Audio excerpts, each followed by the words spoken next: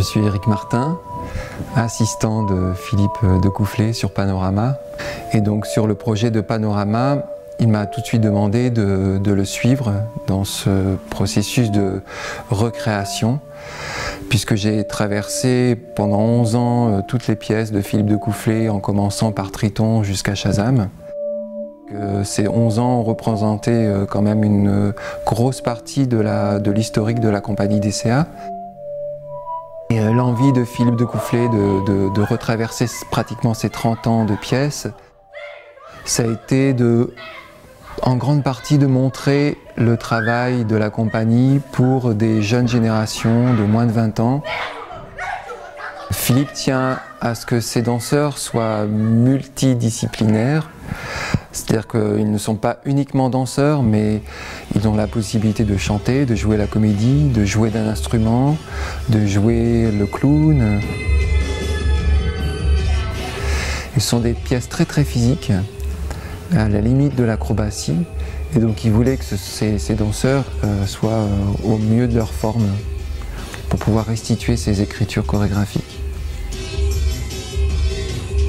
Dans Panorama, on retrouve la plupart des ingrédients qu'on retrouve dans toutes les pièces de Philippe, c'est-à-dire les vols, les danses graphiques, les danses humoristiques, et puis, puis du chant, et puis euh, de la comédie. Euh.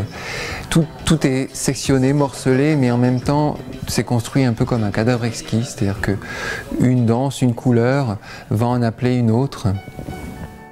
Philippe vient de cette génération où il a, il a voulu casser les codes de la danse contemporaine qu'il trouvait justement très sérieuse. C'est pour ça que la figure du Monsieur Loyal est venue très très tôt. Et, Monsieur Loyal n'est pas d'ailleurs, euh, il n'est pas uniquement là comme personnage euh, qui va apporter de l'humour, mais il est aussi là en tant que danseur. Il tient absolument à, retrouver l'émerveillement qu'il a toujours ressenti quand il était euh, enfant et qu'il allait voir les spectacles de cirque. Donc ce, côté divertissement là, est important pour lui, mais en donnant une euh, peut-être une toute autre valeur au divertissement cirque.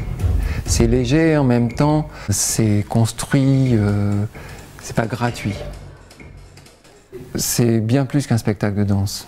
Voilà, je ne veux peut-être pas en dire plus et laisser le spectateur découvrir, mais c'est vrai que moi, mon plus grand euh, plaisir quand j'assiste chaque soir au spectacle, c'est de voir les gens sourire à la fin du spectacle et, sortir euh, heureux, avec un grand sourire, hein.